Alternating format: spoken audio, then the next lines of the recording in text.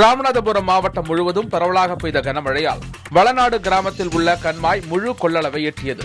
கண்மாயிலிருந்து உபரி நீர் திறக்கப்பட்ட நிலையில் புஷ்பவனம் கிராமத்தில் ஆயிரம் ஏக்கரில் பயிரிட்டு இருந்த மிளகாய் நெற்பயிர்கள் முழுமையாக மழைநீரில் மூழ்கி சேதமடைந்ததால் விவசாயிகள் கவலை அடைந்துள்ளனர். செங்கல்பட்டு மாவட்டம் சித்தாமூர் அருகே உள்ள அமைந்தகரை மற்றும் ஆரக்காடு பகுதி விவசாயிகள் சுமார் 150 ஏக்கரில் நடவு செய்தனர். பயிர்கள் வளர்ந்து வரும் நேரத்தில் கனமழை காரணமாக ஏரிகளிலிருந்து வரக்கூடிய நீரில் அனைத்தும் மூழ்கி சேதமடைந்தன. புதுக்கோட்டை மாவட்ட ஆட்சியர் அலுவலகத்தில் விவசாயிகள் குறைதீர்வு நாள் கூட்டம் மாவட்ட வருவாய் அலுவலர் சரவணன் தலைமையில் நடைபெற்றது.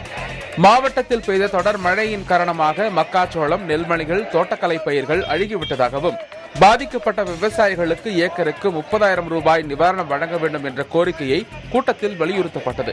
தொடர்ந்து ஆட்சியர் அலுவலக வளாகத்தில் பாதிக்கப்பட்ட பயிர்களை முறையாக கணக்கீடு செய்து ஏக்கருக்கு முப்பதாயிரம் ரூபாய் நிவாரணம் வழங்க கோரி அழுகிய பயிர்களை விவசாயிகள் கையில் ஏந்தியவாறு தர்ணா போராட்டத்தில் ஈடுபட்டனர்.